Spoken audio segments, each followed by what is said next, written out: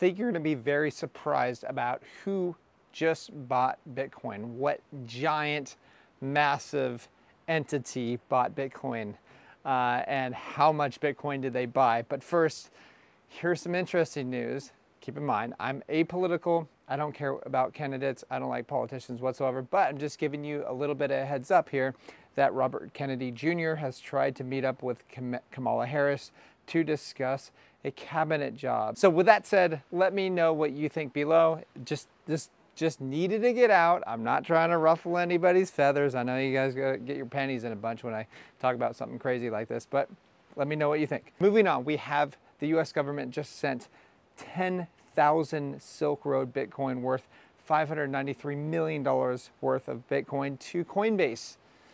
Are they gonna sell it? Let me know what you think. For me, what do I think is gonna happen?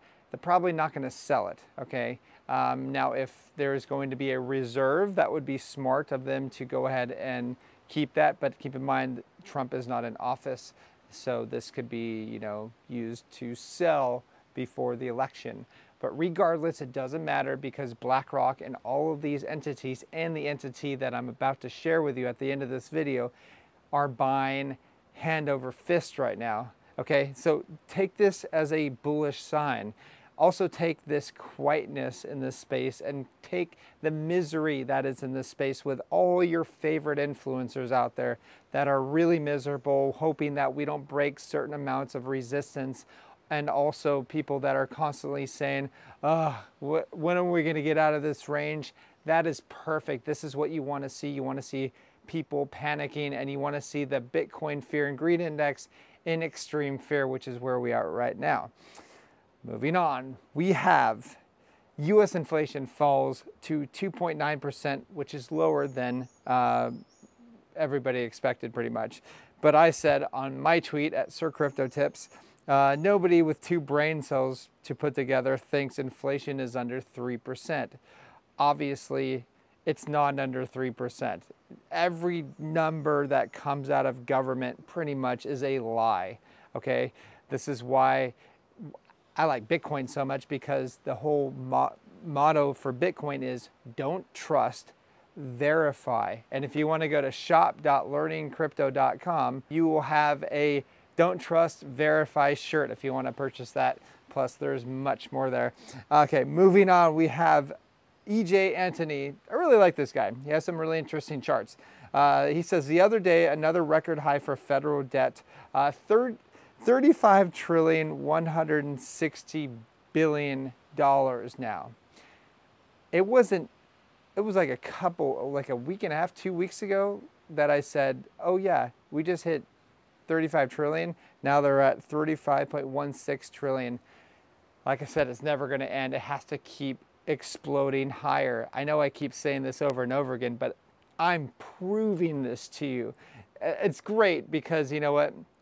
You'll be able to go back in these videos and think, okay, I know what I'm talking about when it comes to debt. When all these other people are like, we need to cut back on debt, blah, blah, blah. That's never going to happen. You cannot, that's like, that's like uh, wishing for money under your pillow for the fairy tooth fairy to come by and after you put your, your tooth in there. It ain't gonna happen, okay? This is this next story is for US citizens. Hackers may have stolen social security numbers of every American from national public data around 2.9 billion records. This is according to the LA Times. So here's here's your government gathering a bunch of information about you, putting it out there, and having hackers steal it from you. This is government for you. Now, this is why we need to protect our privacy. Isn't, it isn't because you have something to hide, it's because you're putting yourself in major risk, okay? Keep that in your mind. A good, a good person to follow is Naomi Brockwell. She's really great at privacy uh, protocols and, and keeping your data safe uh, from hackers and so on and governments and stuff like that. Okay, next up we have this tweet from Michael Gayed.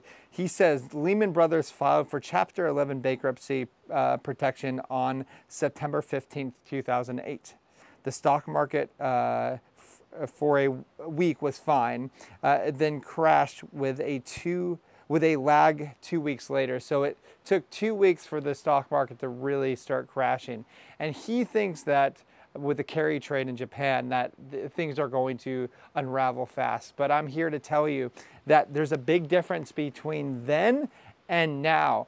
Right now, we have, we already know what governments did after 2008. They printed, they bailed out their partners, they bailed out banks, and they just, they screwed over the US public and global governments did pretty much the same thing. And that is why on the Genesis block, on the first block of Bitcoin, it pretty much bashed what was happening with the banker bailouts. But this is what you're gonna you're gonna be freaking out about these stupid things as a bull as a person who understands bull markets.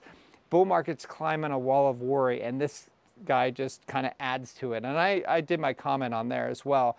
Uh, I don't think he's going to listen to that because, you know, it goes totally against what, what he said right there. But keep in mind that they're going to bail out banks. And how are they going to bail, bail? They're going to bail out complete industries. How are they going to do that? They're going to print, print, print. They're going to print so much freaking currency. Your mind can't even comprehend how much they're going to print. Keep in mind, it was just, we just, a week ago, two weeks ago, we just hit $35 trillion in debt. Now we're at 35.16 trillion. this is crazy. This is psychotic. Okay, moving on. We have Bitcoin is a vehicle for fraudsters, warns Goldman Sachs boss. This is our final story. Goldman Sachs said that six years ago. Now they just announced that they're holding Bitcoin. $2.8 trillion asset manager Goldman Sachs, or uh, as I like to call it, um, Vampire Squid. If you don't know what that is, look it up. That's fun. Uh, discusses 400 or discloses 418 million dollar Bitcoin ETF holding. So they're actually not holding the real thing. They're holding a derivative of Bitcoin. But regardless, they are trying to capture some of the gains in Bitcoin. So ask yourself why would these people go in if we're in a bear market?